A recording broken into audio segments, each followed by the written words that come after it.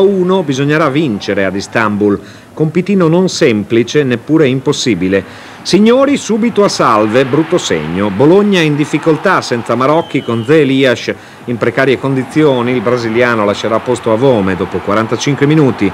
I rossoblù subiscono il ritmo camomilla imposto dai turchi che sul piano del palleggio ci sanno fare. Nel primo tempo il pericolo più grande si chiama freddo Bologna in vantaggio al ventunesimo della ripresa, assist di Carlo Nervo per Beppe Signori.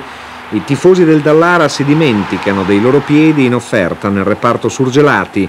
C'è anche la possibilità del raddoppio. Riberto, appena entrato per Signori, si presenta solo davanti a Taffareo. Un'indegna frittella nelle braccia del connazionale, commenti vietati ai minori dall'Andrea Costa. Se non la metti dentro tu ci pensano gli altri, è una vecchia norma sempre in agguato. A Kansukur il freddo ai piedi torna insopportabile. Minuto 46, la fiondata di Carlo Nervo è proprio bella. Sulla linea ci pensa Capone. È andata male e ad Istanbul la pagnotta sarà dura. Nella gelida serata bolognese continua l'imbattibilità interna dei rossoblù che nelle coppe europee su 30 incontri giocati hanno ottenuto 19 vittorie e 11 pareggi. Ma l'1-1 contro i turchi del Galatasaray non premia di certo il gioco degli uomini di Guidolin che forse avrebbero meritato qualcosa di più. Non partono male i Felsini e i Consignori che lanciato in contropiede si vede parare il tiro da Taffarel. Alla mezz'ora mischia in aria del Galatasaray, l'arbitro non vede un fallo da rigore su Ventola e Signori sciupa malamente una buona occasione. Gli ospiti si fanno vedere solo allo scadere del primo tempo con questo tiro di Sucur che finisce lato anche se il Bologna soffre il pressing avversario, sono sempre i Felsini a presentarsi davanti alla porta di Taffarel.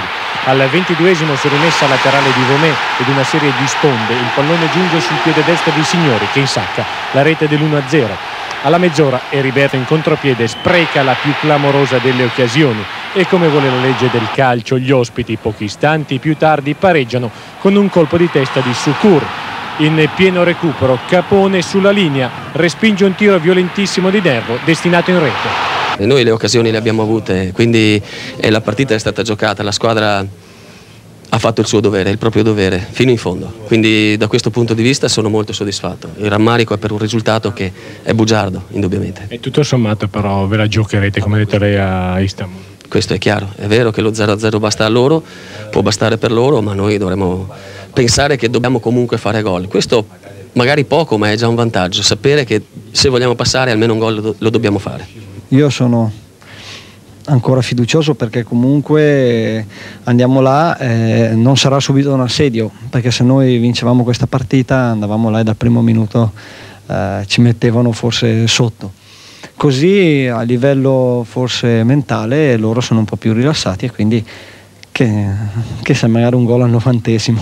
Non potevi fare nulla su, su Cur lasciato liberissimo in aria. Sì, abbiamo, eravamo addirittura in inferiorità numerica, sia su quello che ha fatto Cross che, che su Cur, che Can ha fatto gol. Ecco. Adesso sicuramente abbiamo sbagliato noi, oltre che l'azione del 2-0 potevamo fare, e abbiamo preso questo gol pesantissimo.